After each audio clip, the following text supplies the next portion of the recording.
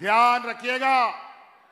ये हमारे आदिवासी, मूलवासी विरोधी, कुछ आदिवासी मूलवासियों को अपना पॉकेट में रख करके हम लोगों के बीच में एजेंट बना करके भेज रहा है। अभी दो तीन महीना बाद चुनाव आने वाला है। हम लोग आपकी सेवा में लगे हैं, लेकिन कुछ हमारे विरोधी लोग हमारे गाँव देहात में वोट बटोरने के लिए इधर से उधर हेलीकॉप्टर में घूम रहा है। सबसे पहले चंदन क्यारी, बोकारो ज़िले के आप सभी, माताएँ, बहनें, नौजवान साथी, बड़े बुज़ुर्गों को आज इस कार्यक्रम में उपस्थिति के लिए बहुत बहुत आभार प्रकट करते हुए पुनः आप लोगों को जोहार करता हूँ। और हमारे साथ मंच पर गण्यमान अतिथिगण हैं, हमारे गठबंधन दल के मंत्रीगण हैं। और पदाधिकारीगण है, उनका भी हार्दिक अभिनंदन करता हूँ।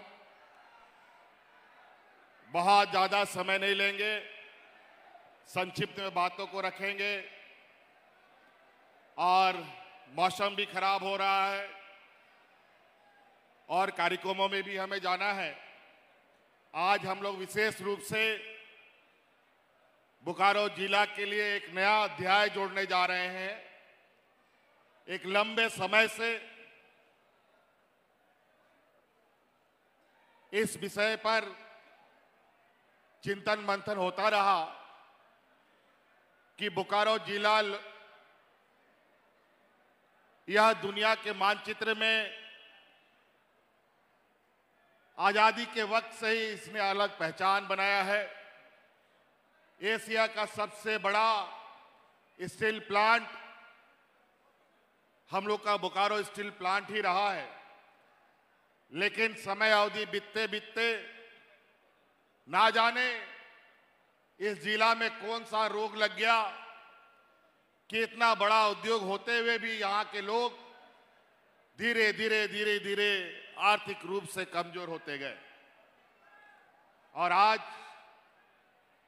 हम गाँव को देखें और शहर को देखें तो बड़ा ही विपरीत स्थिति देखने को मिलता है कि आज का गाँव, ज्यो का त्यों, जहाँ आज सौ साल पहले उसी हालात में दिखता है।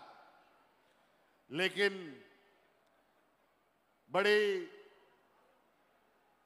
ऐतिहासिक संघर्ष इस राज्य का रहा है और इसीलिए अलग राज्य की लड़ाई लड़ी गई कि यहाँ के कारखाने, यहाँ के उद्योग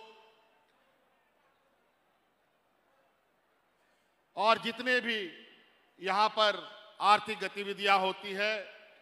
उन सब जगहों पर हमारे स्थानीय मूलवासी, यहाँ के आदिवासी लोगों को रोज़गार मिले।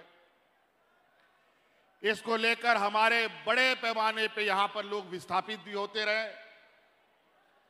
लेकिन जब उद्योग लग जाता है तो इसको लेकर के बनने के बाद ना जाने हमारे विस्थापित लोग कहाँ गुम हो जाते हैं, समझ में नहीं आता। और हमेशा विस्थापित लोग, अपना लड़ाई, जंग, लड़ता लड़ता लड़ता लड़ता, कई पीढ़ी गुजार देता है। लेकिन हक अधिकार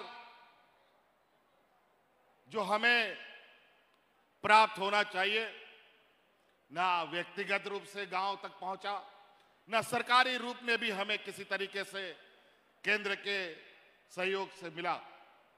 बड़ा ही विचित्र है, गरीबों को हमेशा लड़ाई लड़ना पड़ता है। और आज एक एक करके आपका ये सरकार विभिन्न क्षेत्रों में एक नई इतिहास गढ़ते हुए, नया पहचान बनाते हुए यहाँ के जन जन के लोगों तक पहुंचकर हमारे गाँव का समृद्धि, किसानों का समृद्धि, गरीब गुरुआ आगे कैसे बढ़े इस पर हम लोग लगातार काम कर रहे हैं। हम योजना गिनाना शुरू करें तो समय भी बहुत कम पड़ेगा। कई ऐसा गाँव आज भी हम लोग का है, जहाँ का लोग ब्लॉक ऑफ़िस नहीं देखा था, बीडीओ कौन है सीओ कौन है वो सब नहीं देखा था। डीसीएसपी का तो बात का दूर है। इसीलिए हम लोगों ने पहले भी कहा था कि हमारी जो सरकार है ये सरकार रांची हेडक्वार्टर से नहीं, गाँव से चलने वाली ये सरकार है।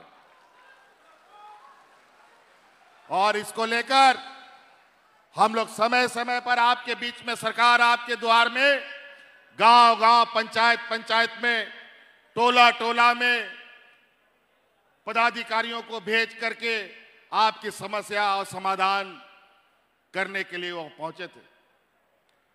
आज बहुत बड़े पैमाने पर गाँव के लोग खुशियों से झूम रहे आज इस राज्य की आधी आबादी जिसको हम महिला समूह कहते हैं, आज इस राज्य की आधी आबादी की महिलाओं को हम लोगों ने महिला सम्मान योजना से जोड़ा, जो इस देश में एक इतिहास बना है, जो लगभग 50 लाख महिलाओं को हमने जोड़ा है। आज हमारी बच्चियों को, गाँव देहात में गरीब गुरुआ लोग बच्चियों को बोझा समझता है। दसवां बारहवां पास होता नहीं है, उसके लिए दूल्हा ढूँढने लगता है। आप बेटी हम लोग की बोझा नहीं, बल्कि संपत्ति बन के रहेगी। सावित्री भाई फूलो योजना से हमने उनको जोड़ा है, और आने वाला समय में वो इंजीनियर भी बनेगी, डॉक्टर भी बनेगी, और वकील भी बनेगी, पत्रकार भी बनेगी।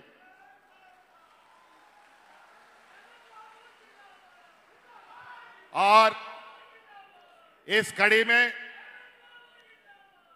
आज हम लोग आपके यहाँ पर बोकारो ज़िले के सेक्टर 12 में लगभग 700 करोड़ रुपया से बनने वाला हम लोग के साथ मंत्रिमंडल में रहे, जिसको टाइगर जगन्नाथ महतो भी बोलते हैं। उनके नाम पर जगन्नाथ महतो मेडिकल कॉलेज का आधारशिला आज यहाँ से रखा जा रहा है। आपको पता है, हम लोगों ने सरकार बनाया, कितना चुनौती हम लोगों ने देखा। कोरोना हम लोगों को ढक लिया, पूरा ऐसा स्थिति हो गया कि पूरा देश लॉकडाउन हो गया, हाट, बाज़ार, गाड़ी, मोटर सब कोई कहीं नहीं हिल सकता था। उस समय भी हम लोग सोते नहीं थे। अस्पताल का ठिकाना नहीं, डॉक्टर का ठिकाना नहीं, दवा का ठिकाना नहीं। ऐसा बीमारी जिसका आता पता नहीं, हम लोगों को तो माथा खराब हो गया, करें तो क्या करें? लेकिन चौकीदार की तरह 24 घंटा पूरे राज्य में नज़र रखते हुए हम लोगों ने इस राज्य को सुरक्षित बचाया। और आपको याद होगा, कोरोना के समय में आपका ये भाई हेमंत सोरेन और आपका ये बेटा आपके परिवारजनों को, दिल्ली, मुंबई में रह रहे लोगों को कंधा में ढो ढो करके आपके घर पहुँचाने का काम कर रहा था।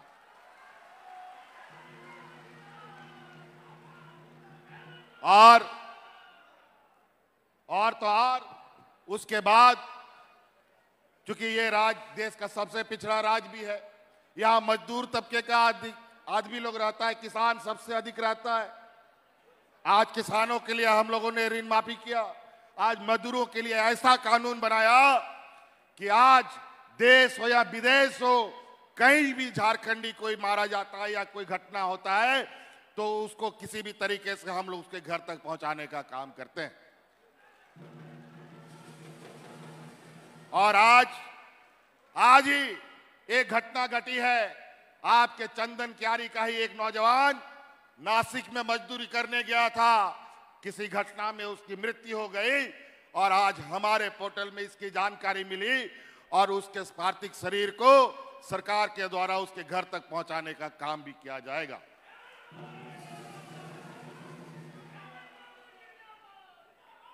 ये किसी फैक्ट्री में काम करते थे और जहाँ जहाँ ये घटना होता है, अभी कुछ दिन पहले साउथ अफ्रीका से 25-30 लड़का लोगों को लाया। उबी बोकारो का, गिरिडीह का चंदन क्यारी का लोग था। उनको भी हम लोग ढोक के लेके आए लेकिन वो लोग ज़िंदा लेके हम लोग लेके आ पाए। लेकिन आज ये नौजवान, किसी घटना में इनकी मृत्यु हो गई। लेकिन आज जो पहले होता था, जहाँ मर गया, वहीं पड़ गया।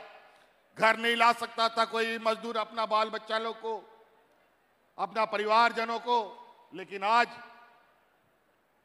कहीं भी, कहीं राज्य के, देश के, दुनिया के किसी कोने में भी झारखंड का लोग जाता है तो उस पर झारखंड सरकार की नज़र रहती है। कहीं कुछ नहीं हो सकता।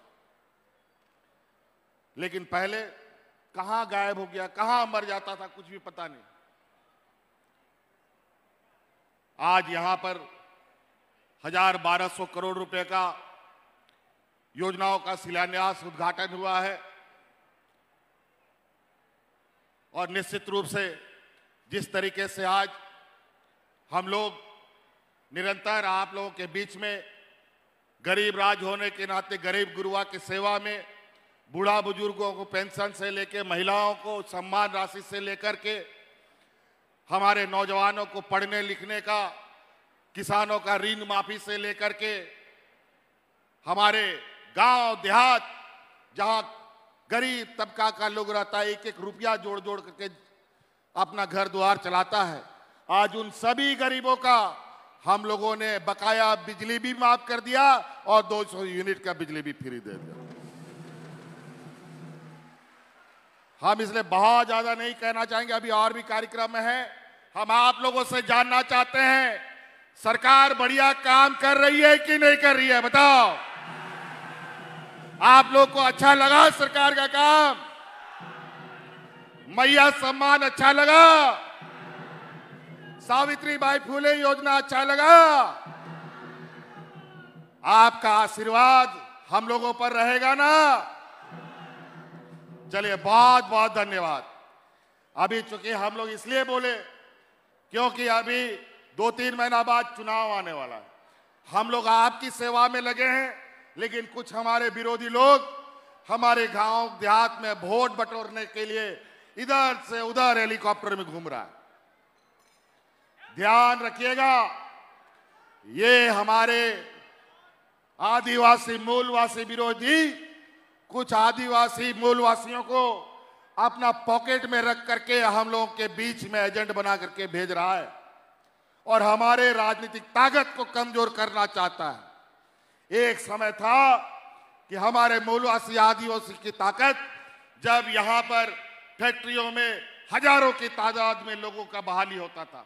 लेकिन आज एक बहाली करके देखिए तो पता चलेगा आपका बेटा बेटी का तो बहाली होता नहीं है, लेकिन जो हमारा विरोधी लोग है, जो पूंजीपतियों की जमात, इन लोग का ज़रूर उद्धार हो रहा है। आज आप लोगों का सेवा करते करते कोरोना काल में हमारे बड़े भाई जगन्नाथ महतो जी का निधन हो गया। हाजी हुसैन अंसारी साहब का निधन हुआ और हमारे इससे पहले पूर्व विधायक और मंत्री राजेंद्र सिंह जी का भी निधन हुआ और आज इस राज को बचाने के लिए इतना बड़ा हमको कीमत चुकाना पड़ा है।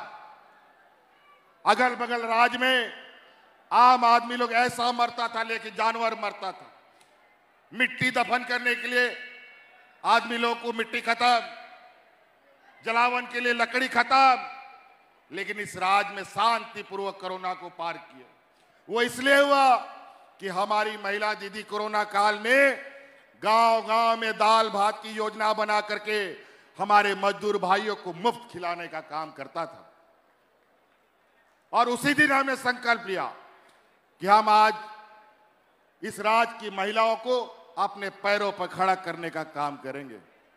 और इसी लड़ाई में हमारे विपक्ष लगातार हम पर झूठा आरोप लगाता रहा। हमको पाँच छह महीना तक जेल में भी डाल दिया। राजनीतिक रूप से ये नहीं सकते हैं तो ईडी सीबीआई लगा देते हैं ताकि हम लोग आपकी सेवा न कर पाए। ये देश का पहला राज है जो सब बुज़ुर्गों को जितना भी बुज़ुर्ग है झारखंड में सबको पेंशन देने का काम हो रहा है। पहला ये राज आज हमारा बच, बाल बच्चा लोग विदेशों में पढ़ने के लिए सरकार के मदद से विदेशों में पढ़ाई करने जा रहे हैं। आज डॉक्टर बनने के लिए मेडिकल कॉलेज खोली जा रही है इंजीनियरिंग कॉलेज खोली जा रही है लेकिन इनको ये रास नहीं आता। ये लोग गरीबों के लिए, उनको पैरों पे खड़ा करने के लिए इनके पास ना आँसू है, ना संवेदनाएँ हैं। ये लोग एन के इन प्रकार अपना व्यापारी मित्रों को मदद पहुँचाने के लिए सत्ता में आना चाहते हैं। जनता इनको मदद नहीं करती है तो सरकार को भी खरीदने का काम करता है। लेकिन जनता जब ठान ले तो ऐसे ताकतवर को भी उठा के नीचे फेंकने का काम सदियों से होता रहा है और इस बार भी किया जाएगा। तो इसलिए सभी माताएँ बहने विशेषकर यहाँ बच्ची आई है, बताओ, यहाँ महिलाएँ भी आई है। आप लोगों को पेंशन के लिए, राशन के लिए, इन सब का कार्ड बनाने के लिए कितना बीडीओ सीओ के यहाँ चक्कर लगाना पड़ता था, ब्लॉकों और दलालों का चक्कर लगाना पड़ता था। लेकिन आज सारा चीज़, आपका पेंशन का कार्ड, आपका सम्मान राशि का कार्ड, आपका राशन का कार्ड आपके दरवाजे और आपके पंचायत में बनता है। आपको चक्कर लगाना का ज़रूरत नहीं पड़ता। आज जिस चीज़ के लिए पदाधिकारियों को तनख्वाह मिलता है, वो तनख्वाह आपकी सेवा के लिए मिलता है। लेकिन 20 वर्षों में हमारे विपक्ष के लोगों ने भारतीय जनता पार्टी के लोगों ने इन पदाधिकारियों का चमड़ा इतना मोटा कर दिया है कि इनका चमड़ा गरीब गुरुआ लोगों के लिए नहीं है। अब सिर्फ़ मखमल में सोने वाले लोगों के लिए। लेकिन अब हम लोगों ने चाबुक लगाया है कि गाँव गाँव जाना होगा टोला टोला जाना होगा और गरीबों की समस्या का समाधान करना होगा। आज हमारी बच्चियाँ पढ़ रही हैं। इनको सावित्री बाई फूले योजना से हम लोगों ने जोड़ा है ताकि ये लोग अपना पढ़ाई ना छोड़े। ये डॉक्टर बने, इंजीनियर बने, इसके लिए हम लोगों ने गुरुजी क्रेडिट कार्ड भी लाया है। उसको बच्चियों को दिलाइए, बच्चों को दिलाइए। डॉक्टर इंजीनियर जब आप पढ़िएगा, आपको बहुत ज़्यादा फ़ीस देने की ज़रूरत पड़ेगी। और गुरुजी क्रेडिट कार्ड लोगे बैंक में जाओगे, तुरंत आपको पंद्रह लाख रुपया बैंक देने के लिए तैयार हो जाएगा। आपकी पढ़ाई के लिए। तो तरह तरह की चीज़ें हैं। बातें धीरे धीरे याद आ रही है। और भी बातें हम भी बोलते चले जाएँगे। इसलिए आप लोगों का बहुत बहुत आभार और बहुत बहुत शुक्रिया। यहाँ पर आज के इस शिलान्यास, उद्घाटन समारोह में उपस्थित होने के लिए। लेकिन याद रखिएगा, आज हम लोगों ने कई कुर्बानियाँ दी हैं, तब आज पदाधिकारी गाँव गाँव जा रहा है। आज बिजली हो, आज सड़कें हो, चाहे आधारभूत संरचना हो, और गरीब गुरुआ को अपने पैर में खड़ा करने का बात हो। आज रोटी, कपड़ा और मकान हर व्यक्ति की ज़रूरत है। आज अबुआ आवास के माध्यम से हर गरीब को आवाज़ देने का हम लोगों ने लक्ष्य तय किया। इसके लिए केंद्र सरकार से हम लोगों ने पैसा मांग मांग करके हम लोग का नाक घिस गया, लेकिन पैसा नहीं दिया। लेकिन अभी चुनाव आया है, पता चला है कि गरीबों को आवाज़ देने का पैसा है। चार साल तक हम लोग का गरीब गुरुआ का पैसा इन लोगों ने अपने राज्य में जाके दे दिया। हक अधिकार ऐसे नहीं मिलता है। और अभी हम लोगों का एक लाख छत्तीस हज़ार करोड़ रुपया कोयला का बकाया। अभी हम लोगों ने ठोक रखा है, अभी वो भी नहीं दे रहे। वो भी लेंगे। और जैसे ही हम उस अभी हम लोग का ये संघर्ष खत्म होगा, निश्चित रूप से वो अधिकार भी लेंगे। हमें याद है, हमारे झारखंड के आंदोलनकारी लोग यही नारा लगाते थे, कैसे लेंगे झारखंड लड़के लेंगे झारखंड। तो हमारा भी ये नारा है कैसे लेंगे अधिकार? लड़के लेंगे अधिकार। तो इसके लिए फिर से थोड़ा बहुत हुज्जत करना पड़ेगा तो करना करेंगे। सीबीआई ईडी से घबराने का ज़रूरत नहीं है। अगर हक अधिकार लेना है, घर द्वार संभालना है, बाल बच्चों का भविष्य सुधारना है तो इसके लिए माँ बाप को थोड़ा मेहनत करना पड़ेगा। निश्चित रूप से धीरे धीरे जिस तरीके से हम लोग बच्चों की पढ़ाई के लिए मॉडल स्कूल हम लोगों ने बनाया है, अभी 80 सीएम उत्कृष्ट विद्यालय का संचालन हो चुका है, शिक्षकों की बहाली हो चुकी है, अब ये लगभग पाँच हज़ार स्कूल बनेंगे।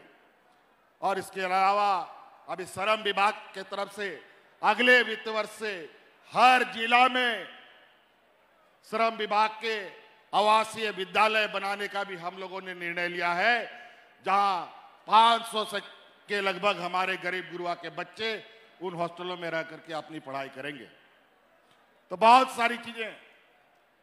हम लोग का कितना गाँव दिया चंदन इक्यारी का बच्चा है। जरा बताओ जो डीएबी और डीपीएस में पढ़ता हो सेंट जेवियर में पढ़ता हो, आज उसी के तर्क पर हमने स्कूल शुरू किया। आज हम लोगों ने जितने भी कल्याण विभाग के छात्रावास हैं, आदिवासी छात्रावास हो हमारा पूरे राज्य में जो पहली व्यवस्था थी, बाल बच्चा लोग अपना घर द्वार से चावल लेके जाता था, खाना भी बनाता था और कॉलेज भी जाता था। लेकिन अब जितना आवास, जितना छात्रावास है, उन सभी छात्रावास में सरकार अनाज देने के लिए निर्णय ले चुकी है। अब बच्चों को खाना बनाने का ज़रूरत नहीं है, उसको सिर्फ़ पढ़ाई करना है। खाना खिलाने का काम अब सरकार करेगी। तो बातें बहुत है। बहुत बहुत धन्यवाद इन्हीं की बातों के साथ। सबको जोहार।